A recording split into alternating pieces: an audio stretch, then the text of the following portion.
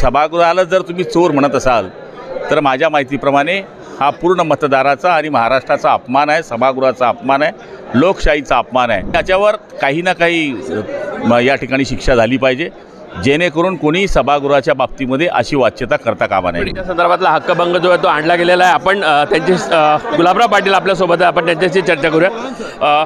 भाऊ काय म्हणाल? आज आज हक्कभंग आणला आहे. काय विषय होता? नाही आपण पाहिलं असेल की या सभागृहाची एक गनिमा राहिलेली आहे. सभागृहाच्या बाबतीमध्ये काही गोष्टी कशा बोलल्या पाहिजे या बाबतीमध्ये काही नियम आहे. शेवटी महाराष्ट्राच्या जनतेने प्रत्येक आमदाराला चार लाख लोकांमधून निवडून दिलेलं आहे.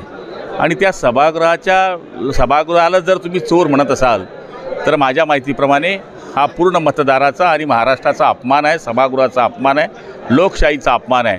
त्याच्यामुळे आज मला तरी असं वाटतं की अध्यक्षांच्या निर्णयानुसार दोन दिवसानंतर ते त्याच्यावर निर्णय घेणार आहे. आणि मला तरी असं वाटतं की याच्यावर काही ना काही या ठिकाणी शिक्षा झाली पाहिजे.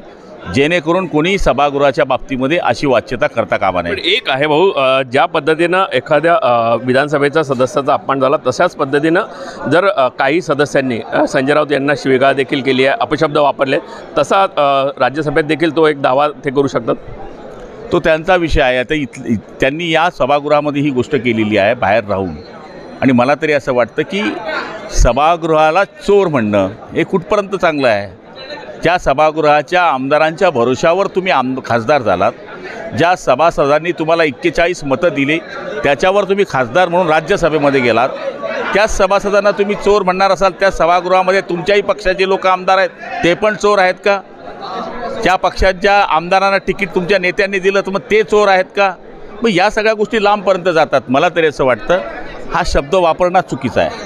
परवा आज निर्णय अपेक्षित होता पण तो परवावर गेला आहे काय याच्यावर काय सांगाल?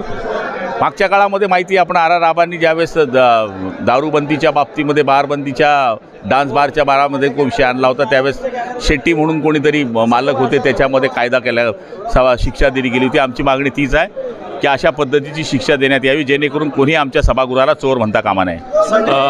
ज्या पद्धतीनं संजय राऊत हे आमदारांच्या जीवावर या ठिकाणी निवडून आले आहेत त्यांनी आधी राजीनामा द्यावा आणि त्यानंतर या सभागृहाला त्यांचा अपमान जो आहे तो अपमान जो केलेला आहे त्याच्या संदर्भात शिक्षा जी आहे ती संजय राऊत यांना झाली पाहिजे असं गुलाबराव पाटील यांचं म्हणणं आहे.